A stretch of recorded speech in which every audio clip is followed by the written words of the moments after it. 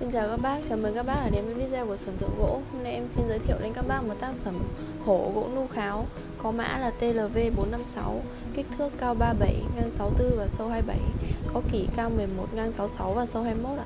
Khác với những loại gỗ bình thường thì gỗ nu thường được hình thành qua một quá trình rất là đặc biệt Tạo nên những vân gỗ toan rất đẹp và huyền ảo.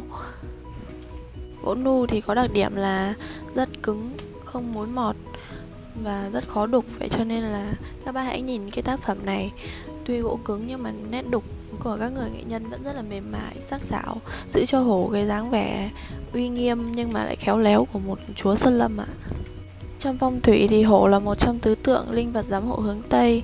Hổ đại diện ờ, cho uy lực và sự thăng tiến trong kinh doanh, bảo, hổ còn bảo vệ gia chủ, đảm bảo tiền tài và sức khỏe sau đây thì em xin phép qua một vòng để cho các bác được xem kỹ tác phẩm hơn ạ. Video đến đây là kết thúc.